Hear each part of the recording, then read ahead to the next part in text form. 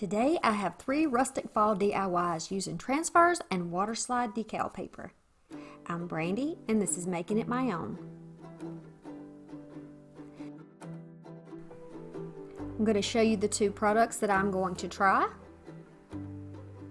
There's water slide paper and it comes in a big pack with 20 sheets in there. All your directions are in there and I'm going to post the directions down in the description box, so be sure you check that out. Also going to have a discount code in there for you if you're interested, and I think you will be after you see this video. And I'm just pointing out what's in the package for this one. Of course, you're going to need an inkjet printer and some type of a sealer spray.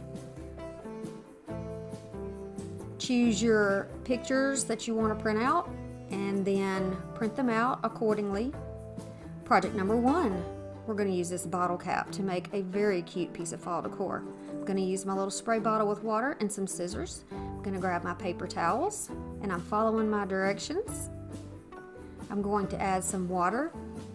This is room temperature water. I'm going to put it in this pan and place my decal down in the water. It's still on the paper backing and that's how you want it.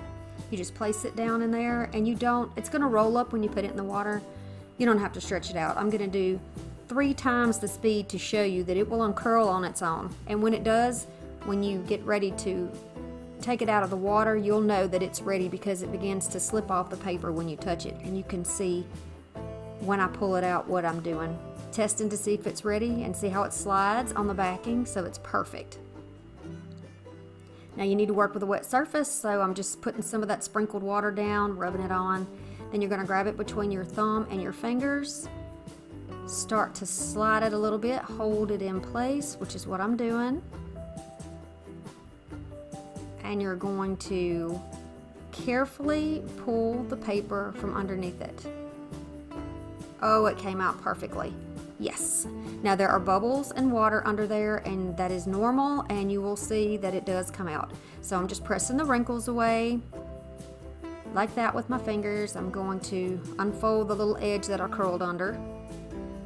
I was unsure at first of how strong that layer was going to be, but I was able to move it around quite a bit, so I was impressed by that. I didn't tear it or pull anything loose. So holding it in place, I'm just using the same technique I would if I was doing um, like a decoupage or if I was doing a glue stick and putting down something. Holding it and then wiping away from the center so that the water will push outward and then I'm kind of patting it down. Be sure you take your tag off of your items and that's just a Dollar Tree cap there, bottle cap. Look how perfect that is. You can barely even see the edges. It even overlaps nicely. All right, to give that a chance to dry. And then we're to embellish the sign. So far, so good. You can choose whatever type of ribbons you want to use, or maybe some jute, maybe some raffia, something like that. You could just use twine if you wanted. But I want to do a little messy bow so I'm just going to be cutting some six inch pieces three times of those ribbons that you can see there I chose. I'm going to use some of this Excelsior or Raffia or whatever you want to call this. Looks like hay to me. I'm going to pull it in half, put some on the bottom, and just start making X's across my stack. We're just stacking these up, putting different patterns and colors together. But these all coordinate nicely with the sign, so these are the ones I chose. None of these have wire. It is not important for this. I'm going to take the other half of that bundle that I separated, put it on the top so it, all the ribbon is sandwiched in between these two layers of rustic looking, looks like hay. Gonna pinch it in the middle, pull my piece of jute around, and then try to get it in the center and tie it down tightly. I'm going to put a knot in here because I don't want it to come loose and it's a very bulky type of bow so it needs to be secured nicely. I'm going to just hold the ends and then trim up all the excess that's hanging off as you can see me doing there and then just begin to fluff it out. If you have not subscribed to my channel, we would love to have you here. I have a big YouTube family. It's growing every day and I'm so appreciative. And I love doing budget-friendly DIYs and rustic type projects. So this is another one of my fall projects and I will have a link where you can see everything I've done so far this year for fall. So just tie that onto the strap and there you go. What do you think about that? So far, so good. I'm really liking this product so far. And this is not a paid video. I'm not getting paid. They did send me the, prod the products to try, though. So, so far, so good. Okay? Be sure to follow me on my social media Pinterest, Facebook, and Instagram. On to number two. I'm going to take a Dollar Tree jar sign. I'm going to use the opposite sign side of the sign and I'm just going to take the stickers off and then use some sandpaper to smooth it out and it will remove that adhesive so it doesn't leave a dark mark once we try to paint it. Cleaning up the dust. Now I'm going to make a lighter color gray paint. I'm just going to add a little bit of acrylic paint here that I got on clearance at Hobby Lobby and some scoops with the paintbrush of this white chalk paint that I've had forever and have gotten so much use from.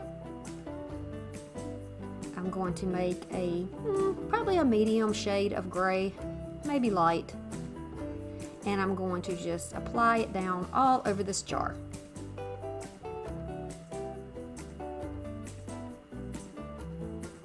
Once it is dry, we're going to start sanding the edges. This is going to make it look more rustic and give it a worn, aged look. So I'm going all around my edges. This is a heavy grit sandpaper. And then wipe the dust away. This is how it looks. And then this printable, since I'm, I printed out several and wasn't really sure which ones I was going to use, but I decided I like this one. The background is a sort of gray, so I thought maybe it would blend better on my gray jar. Very pretty. Now you'll see this on the front and back because when I first got the printer out, I haven't used it in a very long time and I needed to test out to make sure that my ink was loaded and ready to go. So I printed it on the back side just to test it.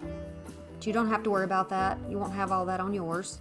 It didn't affect the front where I actually have the decal.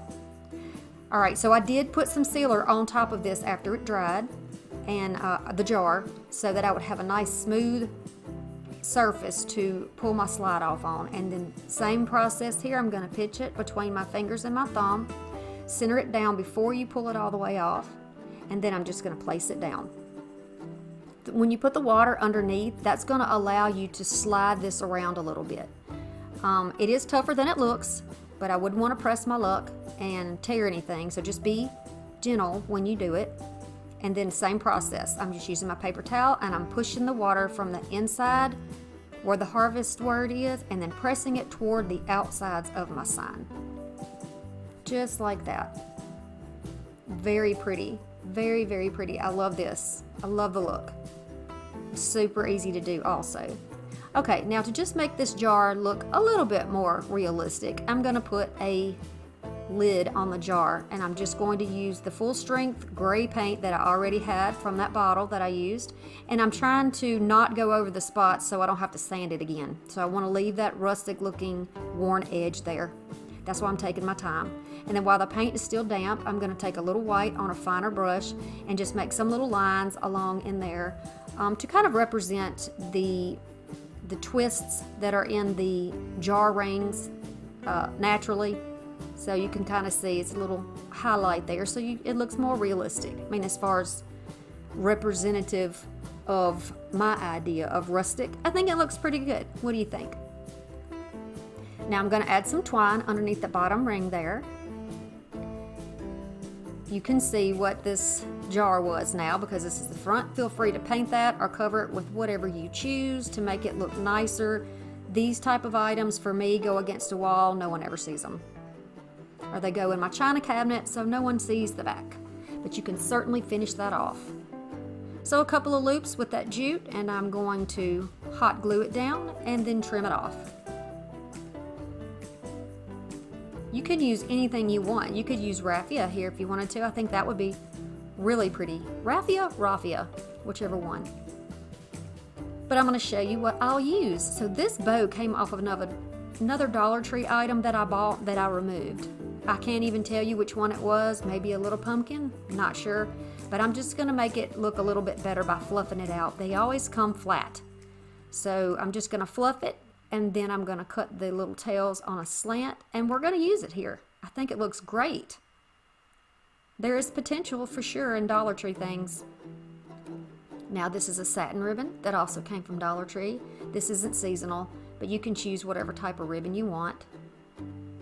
And I'm just going to do a double bow. So I'm going to put this satin bow up there on top of my little my little burlap or whatever kind of ribbon that is up there.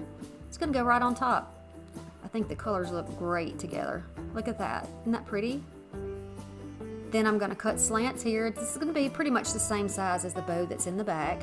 It's just going to be layered. It's going to give it a little more dimension. A little more frou-frou.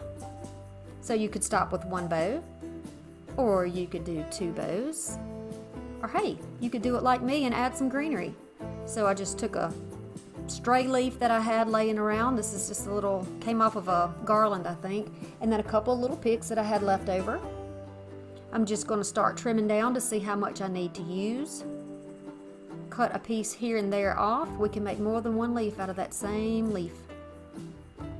And I'm going to layer it with some of the seeded grass. Is that what that is, seeded grass? I'm not sure what this is seed pods of some sort or berries of some sort. I'm going to tuck those under the bow. It's going to give it some more dimension on top. And I think that it matches what's going on in our decal. Our beautiful little decal, which is staying in place perfectly with no problem and no wrinkling. I definitely like this paper. And hey, be sure, I mean, you if you want to go and save a little bit of money, look at the look in the description box and get that link and go try this. This it's really good and there are a lot of people who've done reviews on it that I believe are just as happy with it. I never knew such a thing existed until I was approached. Do you like this one? You like the first one or this one better? Okay, wait till you see this one. Now we're going to use the fabric one. We're going to try this on a napkin, so it's going to be a pumpkin dinner napkin. I printed a couple of things off. I happen to have gotten these two uh, illustrations from Canva. I do use Canva for my thumbnails and for other things. So I'm going to cut out this beautiful watercolor pumpkin and I'm going to apply it to this napkin.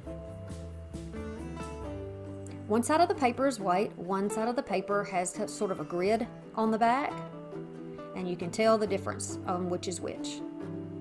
So you're going to pull it apart just like so. It's got a sticky back.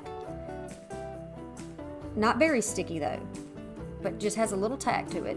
You're going to put your grease-free paper on top, and then I'm going to use my little heat press. This is another item that I've been checking out lately. Loving it. And then, voila, there we go. Now, I don't know if I left the heat on too long or what happened, but I'm very happy you can see the print right through. It's very soft, it's very flexible. I'm showing you here that it is flexible. It is not a stiff, stiff um, piece that we've added. You can see here, it doesn't bleed through the back. Very nice. Okay, so to make our napkin look extra special, it's cool to the touch and we are going to fold it like we would if we were setting our table. So it's folded over. I'm going to take a little scrap of jute.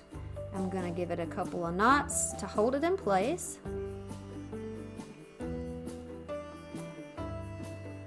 Then I'm going to add a little bit of greenery.